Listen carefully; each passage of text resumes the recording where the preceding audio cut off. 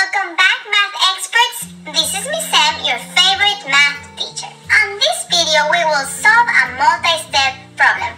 Where do we start? Let's find the keywords. Okay, guys, so let's read this together. Jenni and Andrea read a book together for six and a half hours.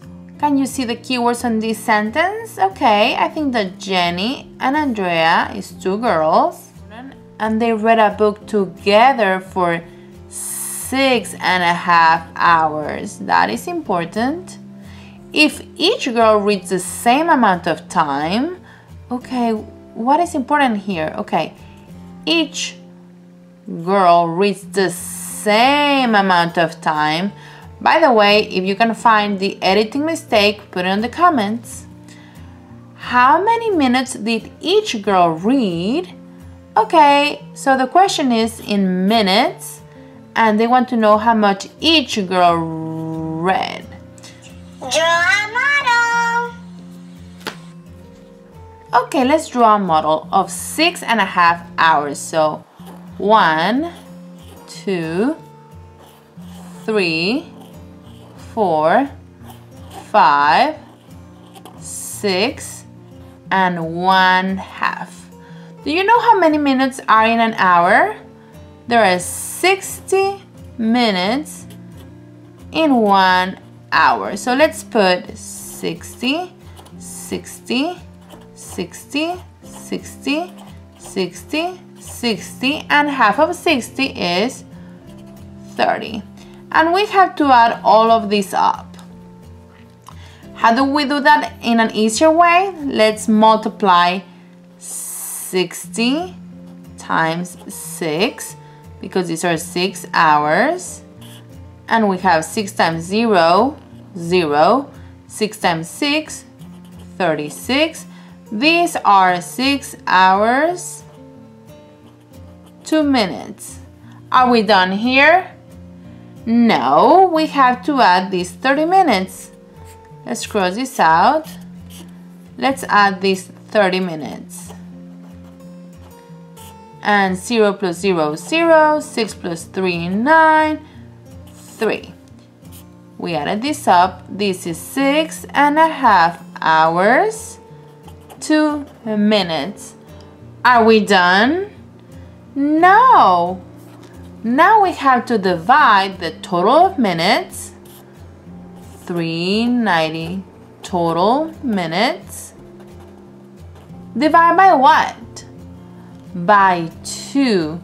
Why by 2? Because there are two girls and we want to know how many minutes each girl read. So divide by 2 girls. I moved the paper a little bit to have more space, so let's divide. 2 times 1 is 2. Subtract and drop. 2 times 9 is 18. Subtract and drop. 2 times 5 is 10. Subtract and we have 0 remaining. What does this mean, guys? That each girl read 195 minutes. And if you want to do a model, this means that 390 was divided in half. One girl read this, one girl read this, and half of 390 is 195. A. 195 minutes. Is this the answer? I'm pretty sure that this is the answer, but I'll keep going. What is this 360? Okay, I see a 360 here, so this means that this was only 6 hours, 2 minutes. Is this the right answer? No, no, no. That's not the answer.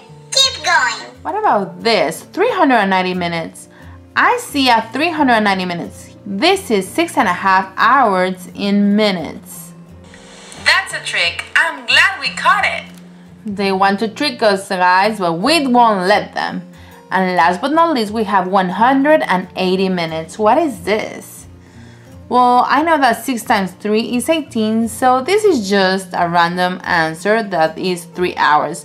But this is not the answer. Definitely A was the correct answer. This is six and a half hours divided by two, and now I know that Jenni read 195 and Andrea read 195 and let me make sure sure sure.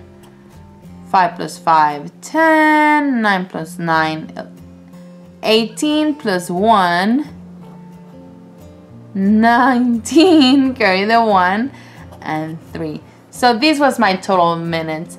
So definitely we have the correct answer and it's 195 Do you see that I checked all the answers when I thought I had the correct one?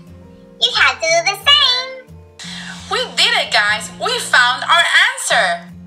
Remember to like, subscribe, leave your comments, and share this video with other kids that are learning math.